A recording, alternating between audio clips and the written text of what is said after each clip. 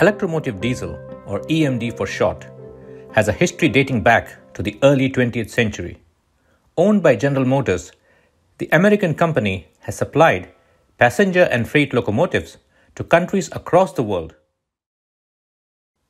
EMD locomotives haul freight and passenger trains in Australia, India, and its neighbors China, Bangladesh, and Pakistan.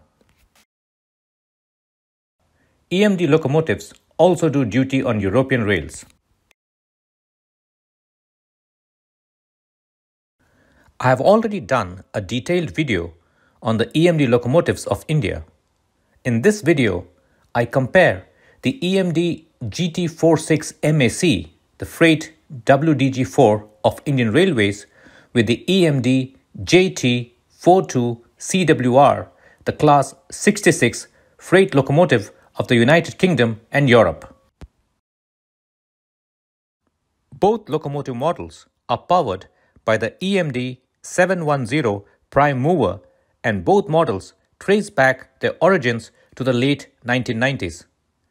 The WDG4 and Class 66 locomotives were commissioned into service in India and the UK in 1999 and 1998 respectively. Therefore, both models are of similar age and have contemporary service histories. The Indian WDG4 prime mover is a 4500 horsepower 16 cylinder 2 stroke EMD 710 G3B diesel engine with a tractive effort of 540 kilonewtons. The 1676 mm broad gauge locomotive weighs 126 tons and is capable of hauling 58 BOXN wagons at 85 km per hour on level track. The locomotive has proved to be very rugged and reliable. Around 1,756 examples of the WDG4 constitute the most prevalent freight hauling locomotive in the non-electrified sections of Indian Railways. The Class 66 is powered by a 3041 horsepower 12 cylinder 2 stroke EMD 710 G3B diesel engine with a tractive effort of 467 kilonewtons.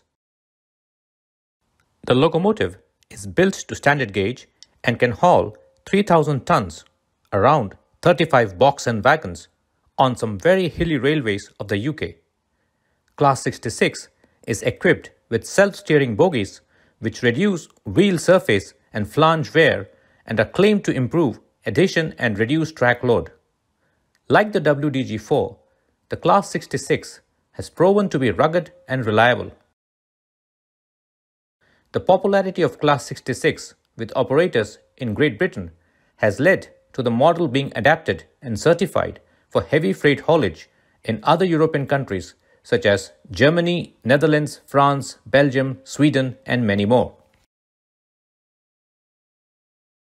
Despite their popularity with operators, both WDG4 and Class 66 have had complaints from the drivers. In India, drivers have complained about lack of visibility in single cab models when driving in the long hood forward mode. Indian Railways resolved this by providing cabs at both ends.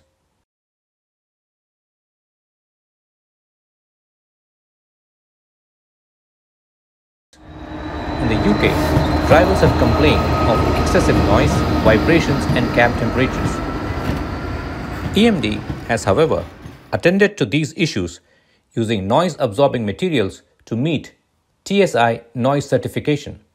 Tests on retrofitted cooling systems and improved seating have also been carried out on some locomotives.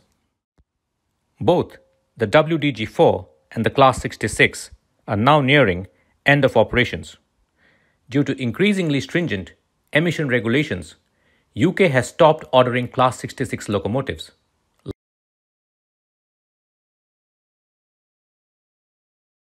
Likewise, with Indian Railways aiming for 100% rail electrification, WDG manufacture will be stopped in India as well.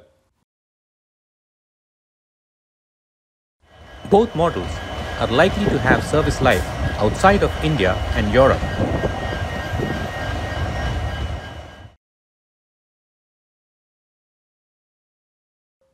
The India manufactured WDG4 has been exported to Sri Lanka and the Class 66 is also in operation in Egypt.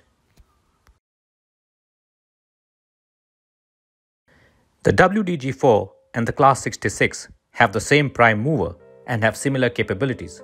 Therefore, I have not given my opinion on which of the two is better.